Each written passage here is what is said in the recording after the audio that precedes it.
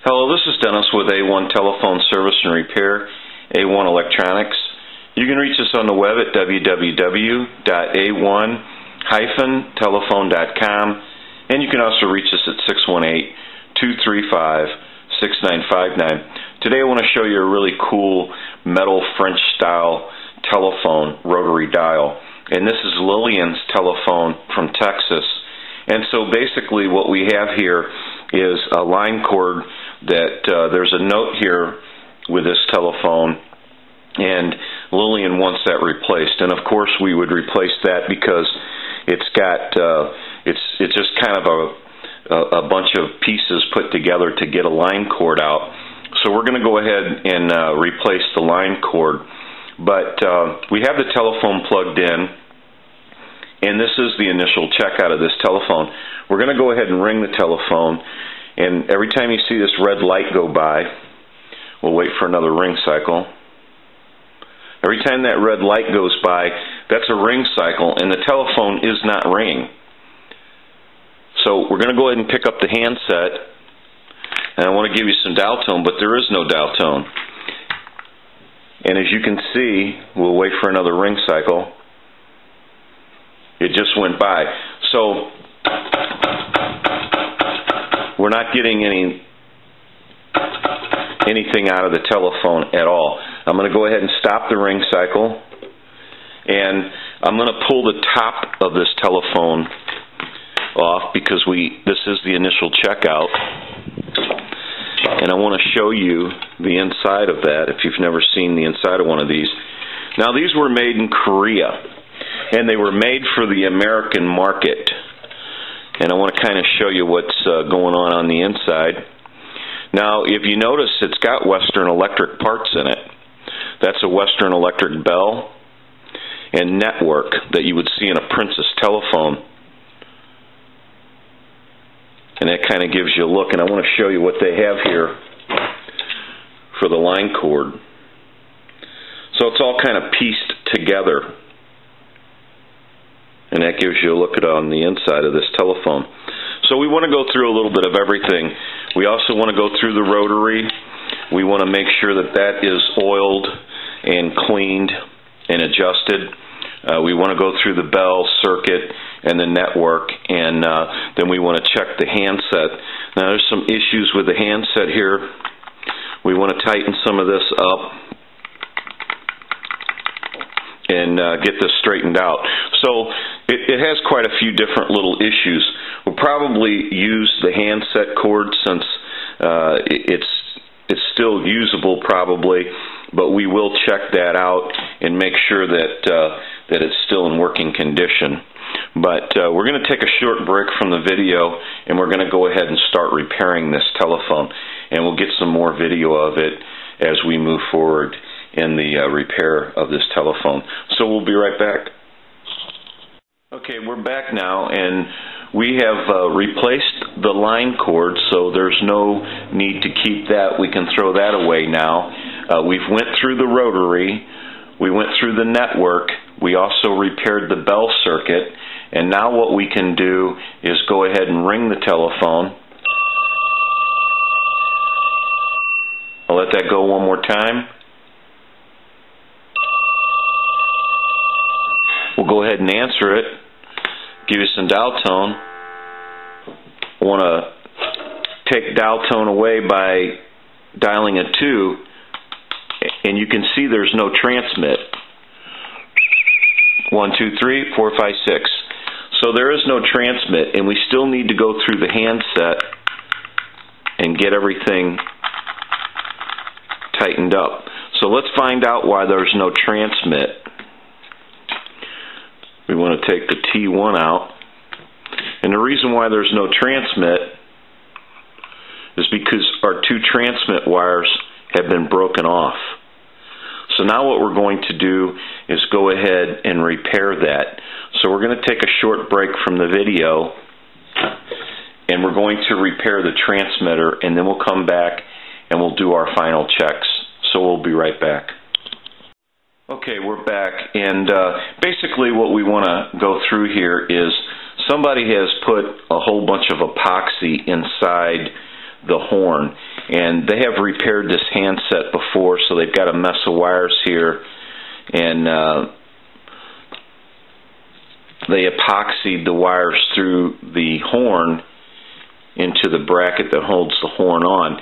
And we need to clean all this up because what we want to do is we want to repair this unit, the horn, and uh, get it all back together again and run some new wires up to the transmitter. So that's kind of what we're in the process of doing right now. Uh, before, what would have happened is uh, they have this nut here for the uh, horn. We're going to try to take that off because we're going to go about this a different way now that it's all broke up. And then we need to get this piece out of the horn bracket. So that's basically where we're at right now, uh, just kind of repairing an old repair that really uh, didn't work very well. And so uh, we're kind of at that point right now. So we'll take a short break and start working on this, and we'll be right back. Okay, we're back now. And so what we're going to do here is we're going to take some heavy brass tubing, and we're going to go ahead and flatten one side because I want that to ride on the inside of the horn.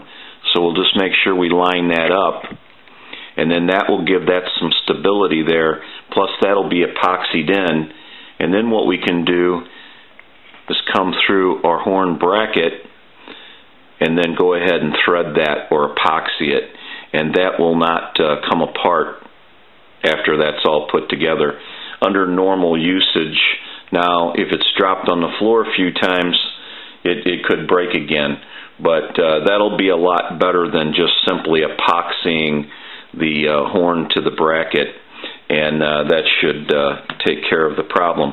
So we're going to go ahead and take a short break from the video and uh, we'll be right back. Okay, we are finished up with this telephone and we're going to run through a few things that went on with this telephone. We replaced the line cord for this telephone. We went through the network and made sure everything was proper there. We went through the bell circuit and repaired that. We went into the rotary and cleaned, oiled, and adjusted the rotary. We also repaired the handset and stabilized everything on the handset and got that repaired.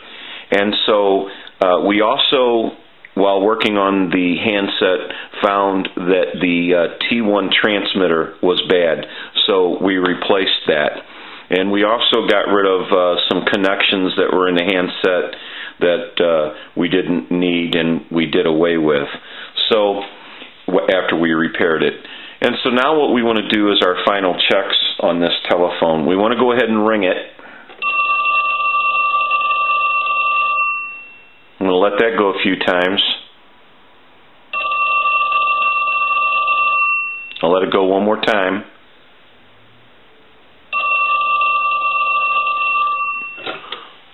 I'm going to give you some dial tone. If you watch the analyzer, we're going to dial our numbers.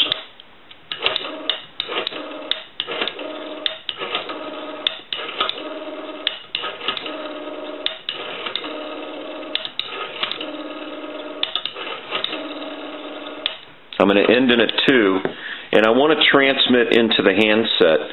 So if you watch the analyzer, Every time you see that red light on the analyzer light up, that's an indication of 100% modulation on transmit. One, two, three, four, five, six. hello, hello. So now that we have our handset all stabilized, nothing is loose now, and we have repaired the horn area of the transmitter, and all that is stabilized. So this handset uh, should, under normal conditions, be just fine, and it uh, doesn't uh, have any problems now, and it's not all loose and moving around. We also want to show you the line cord that we installed. We put plenty of length on the line cord because the original line cord which was not really original to the telephone, but the original line cord that this telephone came in with basically was pretty long, so we went ahead and reproduced that. We're going to go ahead and switch this telephone over to a regular line and we're going to call like a time and temp give you some dial tone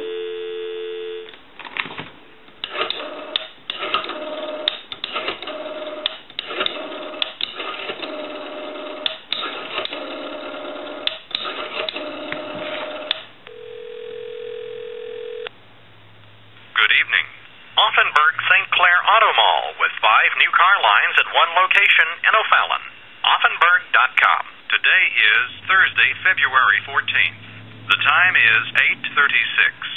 Current temperature at 54 degrees. Now the Belleville area weather forecast. Mostly cloudy overnight, a chance of snow and scattered light showers, a low in the low 30s. Mostly cloudy early Friday, then partly sunny, scattered morning flurries, highs in the upper 30s. Okay, we can call one other number. We can call my number, and it'll be busy. Give you some dial tone.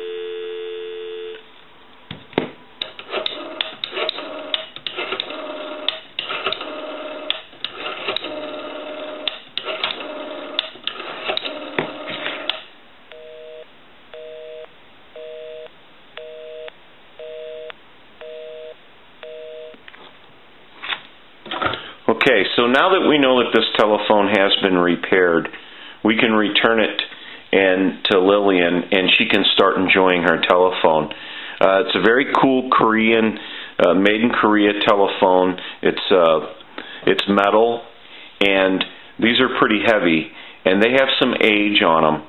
Uh, they're uh, these are out there, but there's not a whole lot of them, so they're pretty sought after. We get calls on these a lot and they were made for the American market. And we get a lot of calls about these because they were built well and had a lot of Western Electric parts in them. This is Dennis with A1 Telephone Service and Repair, A1 Electronics. You can reach us on the web at www.a1-telephone.com and you can also reach us at 618 235 6959. Thank you for watching and have a great day.